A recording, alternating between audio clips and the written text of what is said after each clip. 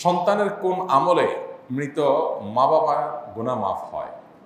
খুব সুন্দর এবং প্রয়োজনীয় একটি প্রশ্ন মাসাল্লাহ সন্তানের কোন কোন আমলে মা বাবার উপকার হয়?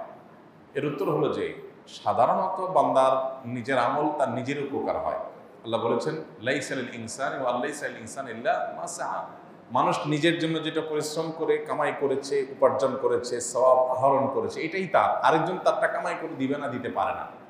এটা হলো সাধারণ কথা। কিন্তু মা বাবার ক্ষেত্রে সন্তানের কিছু কিছু আমলের প্রভাব মা বাবার মৃত্যুর পরও তাদের উপর পড়ে। তার ভিতরে প্রধানতম আমল হলো সন্তান নিজে যদি ভালো কাজ করে এবং পাশাপাশি বাবা মার জন্য দোয়া করে।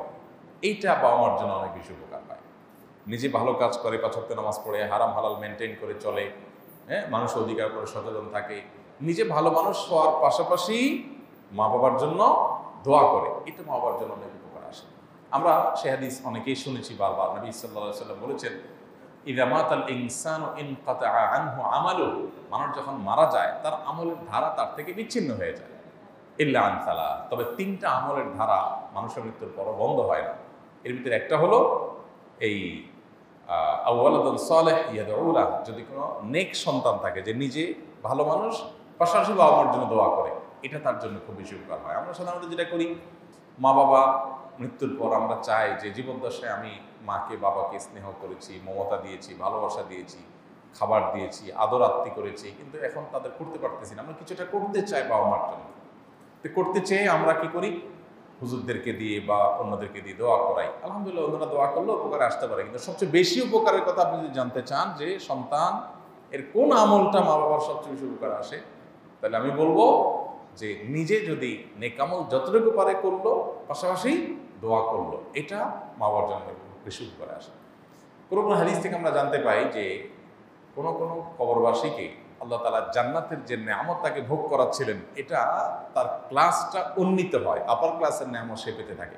তখন আল্লাহর কাছে সে বলে, আল্লাহ, আমার তো মৃত্যু হয়ে গেছে, আমি দুনিয়া থেকে চলে আসছি। আমল করে নিজের মর্যাদা বৃদ্ধি করার অপশন তো আমার বন্ধ হয়ে গেছে। তাহলে এখন আমি আমার এই মর্যাদা বৃদ্ধি যে দেখতে পাচ্ছি, এটা কিসের কারণে? কোথেকে হলো? আমার তো কোনো আমল নতুন করে প্লাস করার সুযোগ নেই। তাহলে মর্যাদা বৃদ্ধিটা কীভাবে হলো? তখন তাকে বলা হবে আল্লাহর তরফ থেকে যে, তোমার সন্তান দুনিয়াতে যে রেখে আসছ, নেক সন্তান, নামাজি কালামি, হালাল হারা মেনটেনকারী ভালো সন্তান, সেই সন্তান তোমার জন্য দোয়া করেছে, এই দোয়ার বিনিময়ে তোমার ক্লাস উন্নীত করা হয়েছে।